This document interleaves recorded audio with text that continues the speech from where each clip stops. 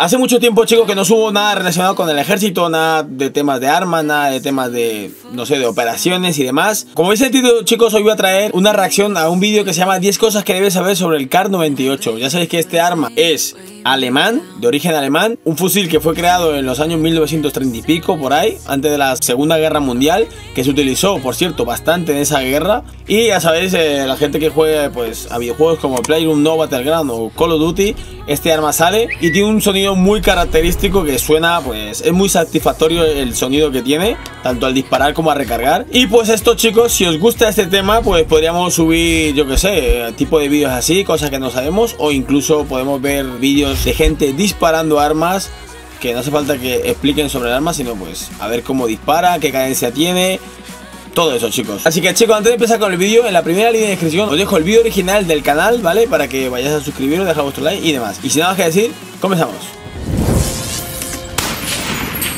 Es que son igual que los juegos, eh. Bueno, de acuerdo con muchos expertos, el Mauser K98 es el mejor fusil de cerrojo de toda la historia. Pues... Título concedido fundamentalmente por su bestial precisión y extraordinario diseño.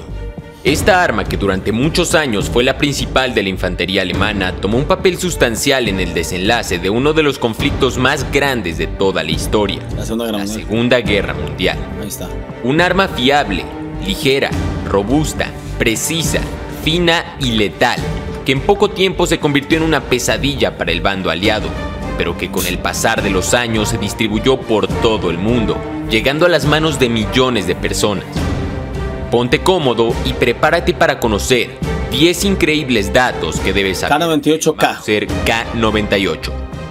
Comenzamos. Me gustaría disparar ese arma, ¿eh? Ese arma estaría... O sea, sentirlo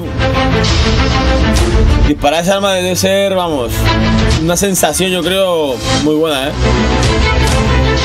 Pero, para, ir, para irte a disparar ese tipo de arma, ¿dónde puedes ir? ¿A Alemania? ¿A Estados Unidos a disparar? Porque aquí, por ejemplo, en España yo creo que no se puede. Para conocer la historia del K-91, bueno, vamos a escuchar. remontarnos hasta la Primera Guerra Mundial. En esos momentos se utilizaba el Gewehr 98, el cual había sido ah, diseñado por Paul Mauser en 1895. Mauser, entró en servicio oficialmente para el uso del ejército alemán en el año 1898. Y ahí su respectivo modelo. Al comienzo de la Primera Guerra Mundial ya había 2.273.080 fusiles Gewehr 98 y 7 millones más que fueron fabricados durante el transcurso de la guerra. No obstante, el excesivo tamaño del Gewehr le daba una gran desventaja, pues su transporte era realmente complicado para la infantería. Este fusil medía unos 125 centímetros de longitud, lo cual lo hacía demasiado espacioso, incómodo y en muchas ocasiones ¿eh? inservible. Al poco tiempo, esta desventaja lo convirtió en un arma obsoleta para las guerras que se venían, y más aún para poder llevar a cabo la Blitzkrieg, o por su traducción en español, guerra relámpago, una táctica militar que consistía en realizar un bombardeo y posteriormente avanzar con tropas en tierra rápida y sorpresivamente. La Blitzkrieg necesitaba que los soldados contaran con una nueva arma que fuese de dimensiones reducidas para el transporte masivo. En 1933 Hitler subió al poder e invirtió 90 billones de marcos para reactivar al ejército alemán. Para llevar a cabo este plan se hizo un llamado a la compañía Mauser, que bajo la supervisión de Paul Mauser se creó una versión modificada del Gewehr 98. Lo que buscaban era un fusil de cerrojo preciso, compacto y seguro. Al final Mauser le dio a Hitler justo lo que necesitaba, el Mauser Karabiner 98. Esta nueva arma, también conocida como K98, KAR 98 o Mauser K98K, fue un éxito, pues casi de inmediato se convirtió en el arma estándar de los soldados del Wehrmacht. Asimismo, fue utilizado por unidades de la Armada Alemana, la Fuerza Aérea y las SS. El Mauser K-98 fue utilizado en todas las grandes batallas que libró el ejército alemán al norte de África, Europa del Este, Francia y los Balcanes durante la Segunda Guerra Mundial. Peter Paul Mauser, creador del fascinante K-98, nació el 27 de junio de 1838 en el reino de Württemberg, Alemania.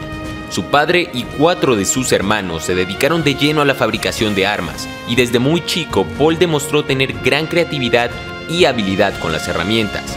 En 1859 se unió al ejército de Prusia como artillero, y fue aquí donde comenzó su carrera como armero.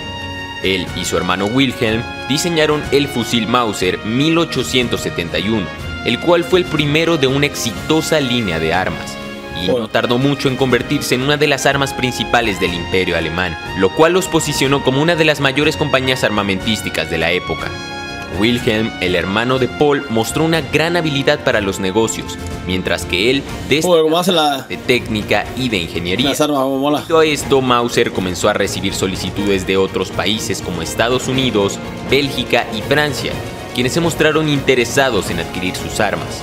Durante su carrera, Paul Mauser y sus técnicos hicieron grandes contribuciones al diseño y mecanismo de los fusiles de cerrojo, los cuales hasta el día de hoy se siguen aplicando para la creación de armas modernas.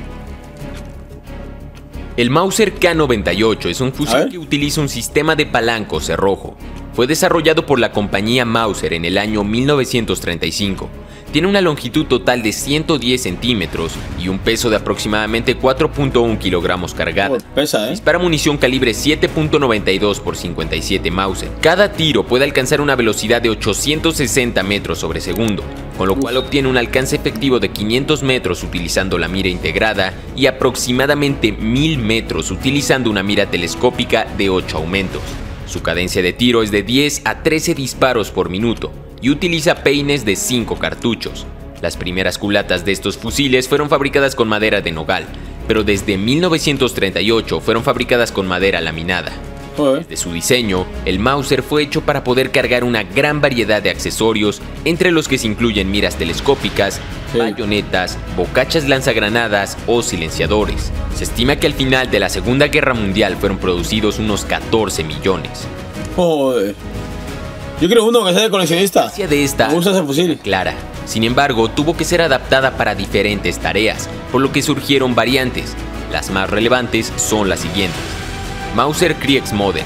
En 1944, casi acercándose el final de la guerra, se creó una versión más simplificada para aumentar la tasa de producción.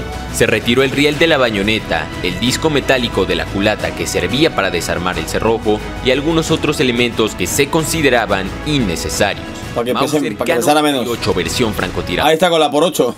un fusil tan fiable y preciso debía adaptarse de alguna manera para los tiradores de precisión del Tercer Reich. Para convertirlo a esta versión se le montaron miras telescópicas avanzadas de 4, 6 y 8 aumentos, soportes y cantoneras de francotirador.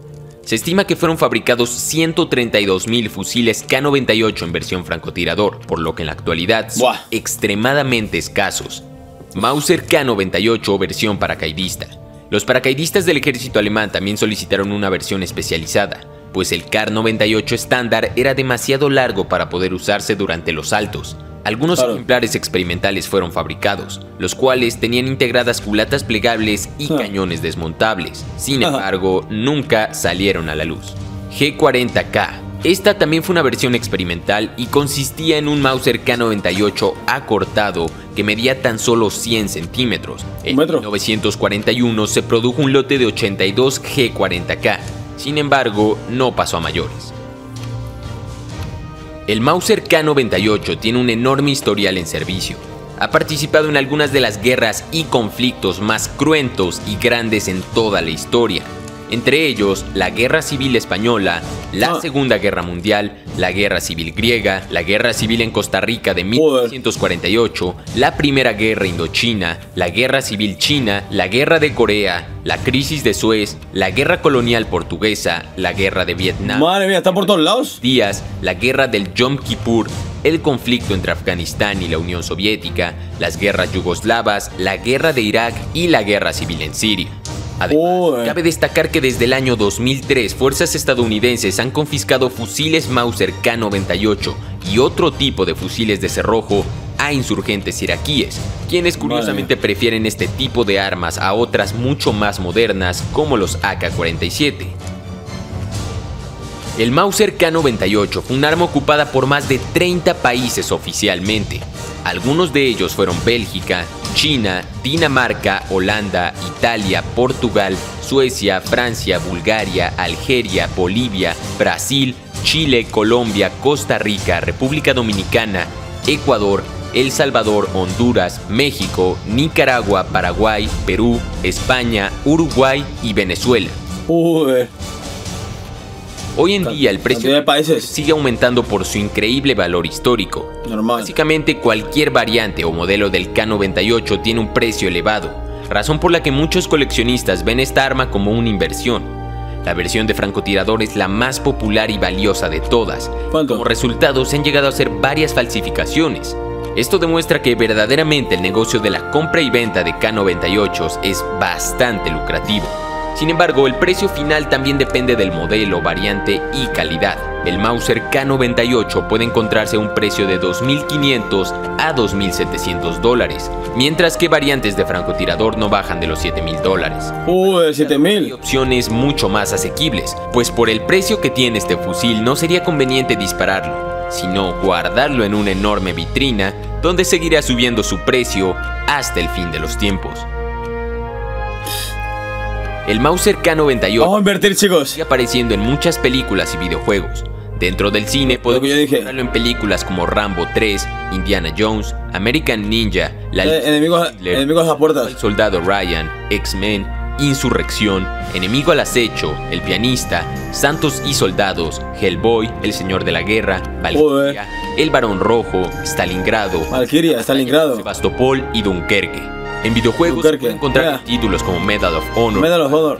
Call of Duty, Brothers in Arms, Mafia 2, Sniper Elite B2 y Player Unknown Battlegrounds. Player Unknown.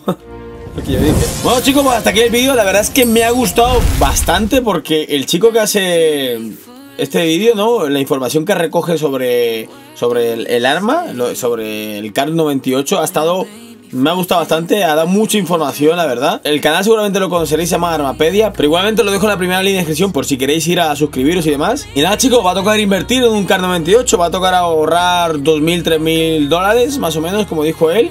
Comprarse una versión normal. Habrá que gastarse en un, en un experto que diga esta arma es real, que no nos, no nos timen, porque a ver si vamos a comprar una falsificación. Y claro, al no saber de arma así a simple vista, pues lógicamente nos pueden engañar. O si no, podemos ahorrar un poco más y comprar la versión de francotirador con un por 8 ahí, a lo Player 1 Battleground. 7000 dólares, chicos, lo que tengo ahora mismo en el bolsillo. Así que nada, chicos, espero que os haya gustado el vídeo, algo diferente, algo bueno, bonito y barato. espero que os haya gustado, chicos, como digo. Y si queréis más armas y más vídeos así, ponedme en la descripción. Recomendarme vídeos, chicos, que ya sabéis, yo siempre leo. Y si sois nuevos, suscribiros, chicos, que estamos a nada de los 170.000. Y ya en breves, en poquitos meses, chicos, si todo sigue igual y bien, Gracias a todos vosotros nos podemos en 200.000. 200.000, eh, que ya, ya pesa, ya pesa, eh. Así que nada, chicos, como digo, espero que os haya gustado, darle like, suscribiros, que es importante, y nos vemos en el próximo vídeo, chicos. Hasta la próxima, bye bye.